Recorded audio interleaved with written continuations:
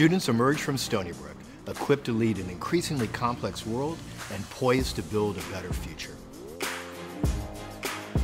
Because it's got this very strong reputation, I am able to attract the very best students who could come to my lab. We supply the tools to help our economically disadvantaged students break out of the constraints of poverty to reach their full potential. There's a recent study from Stanford Institute for Economic Policy Research which showed that a Stony Brook education ranks among the top 10 of all institutions around the country in the ability to take individuals from the lowest quintile of income, the lowest 20% of income, and graduate them up afterwards and help them land in the top 60%. My experience at Stony Brook was everything. It completely changed my life. My intellectual capacity wasn't really tapped into, and Stony Brook tapped into that intellectual capacity. Our new facilities marry cutting-edge technology and comfort. Our goal, nothing less than creating an environment designed to facilitate learning, research, and social bonding.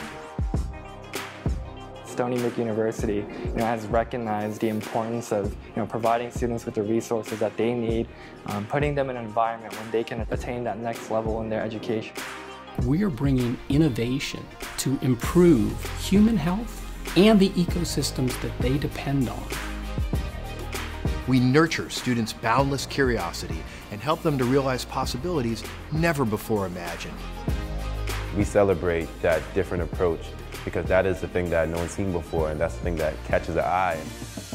Stony Brook firmly believes we're more relevant and effective when we're all inclusive. Look no further that our role as one of 10 University Impact Champions for the He for She initiative to see that Stony Brook University is committed to bold, game-changing action to achieve equality. By opening conversations about just gender equality in general, that invites people to talk about their experiences and at the end of it, you come out with a better understanding of what it is to be human. My name is uh, Bergius Gaboras. I'm the principal here at Brentwood South Middle School. I started the education program. I want to work with children. I want to make sure that they go on the right path. I want to afford them the opportunity that I got uh, coming out of high school and going into Stony Brook through the EOP program. EOP is important because give folks like myself an opportunity to get a step ahead.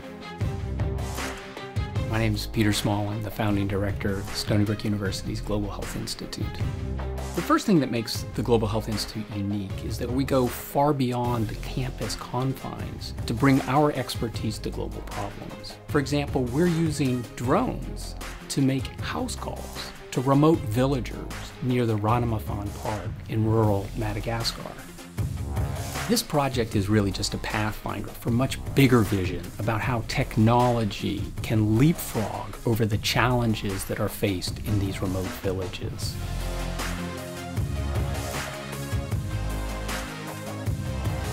I'm Liliana Davalos, and I am an associate professor at the Department of Ecology and Evolution at Stony Brook University. We're looking at groups of bats. We get samples from them, we bring them back to the lab, and in the lab we extract proteins or we extract nucleic acids, so RNA or DNA.